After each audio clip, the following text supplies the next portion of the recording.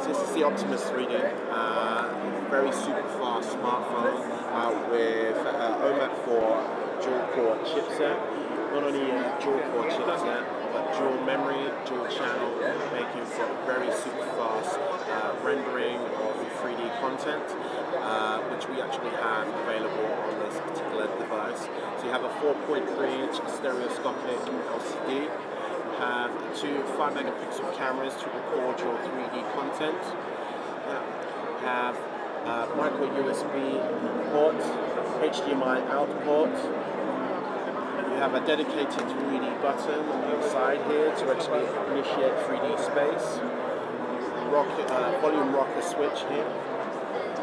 Uh, so as well as the actual um, processing power, uh, the handset also has an 8 gig internal memory, uh, so you can actually add all your 3D content as well as expand uh, your, uh, the memory to 32 gigs if you need to.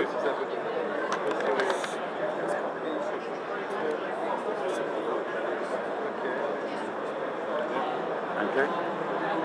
And then uh, 3D space. So if you want to see uh, 3D UI, uh, we've given uh, users the ability to actually interact with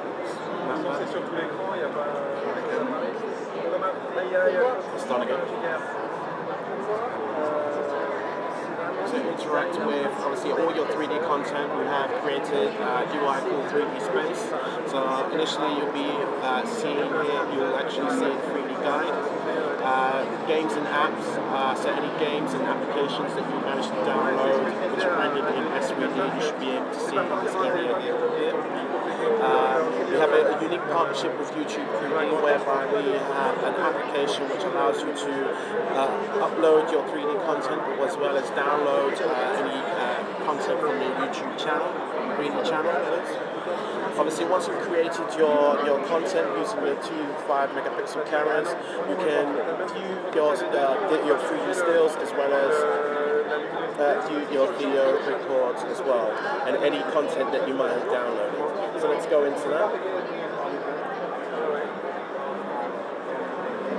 So here you actually have obviously all your 3D content, whether it be stills or video content, on its 3D carousel. And it's smoothly renders as you can see here. I can easily go into any one of these videos.